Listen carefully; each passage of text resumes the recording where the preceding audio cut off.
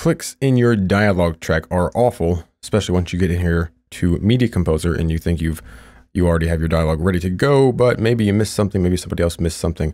So here we have a dialogue track from a different video I have uh, already finished, and listen to this here. Concepts which will have a, you hear that? Concepts which will have a, that click right there. Concepts which will have, I can't leave that in there. So what I need to do is remove that. Now I've already marked off this area, and by marked off, I mean I've placed edits around it. So that's my B key, but uh, you may have that mapped differently. Add edit is right there. That just basically adds a cut for those who aren't familiar with uh, the way Media Composer works. So I've cut around those two areas. So I just have this small clip here.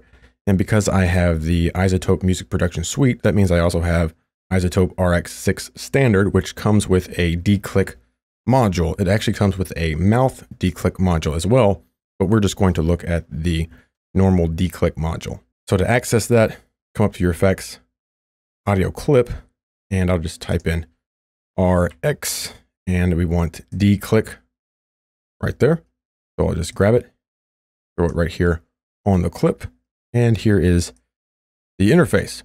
Relatively simple interface.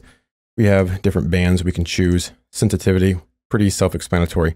The widening to widen the area around the uh, click there.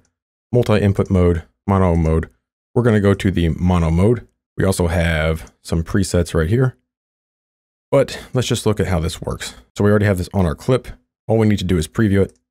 Switch will have a Switch will have a with this setting that we have right here. We've pretty much already gotten rid of that of that click.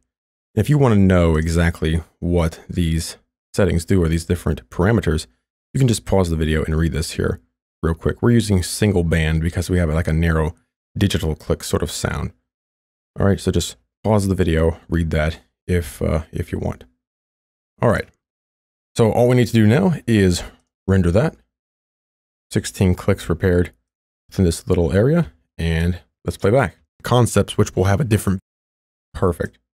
Concepts which will have a, it's completely gone now.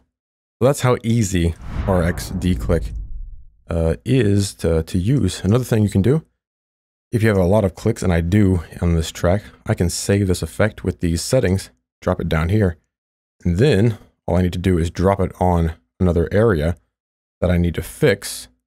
And uh, maybe those settings will work, maybe they won't. So here's another area. Again, I already have it marked. Let's listen to this. Get it from this web right there. There's some mouth noise, so I could use mouth declick, but this declick module will work as well. Get it from this. That's awful right there. Get it from this web. That's just awful. Let's just see if the preset we already have, our settings will work on this. I'll just apply it and I'll go ahead and render that because we'll have to render it in order to actually hear it.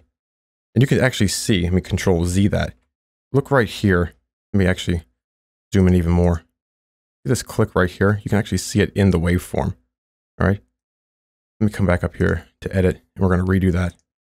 And boom. Now that's gone. So if we listen to it, stream, get it from this website, right? much better. It's not perfect here. We might want to come in here, pop open into this and uh, maybe widen that a little bit. We change the sensitivity a little bit higher. Uh, we could always preview it, but I'll just go ahead and render it there. Very good. Get it from this website right here. Much, much better. So once again, that's RX6 declick.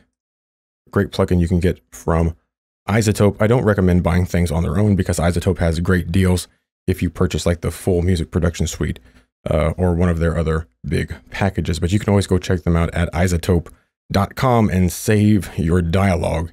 Even here in Media Composer, a lot of times AAX plugins are thought of as a Pro Tools only thing, but we use them here in Media Composer all the time as well.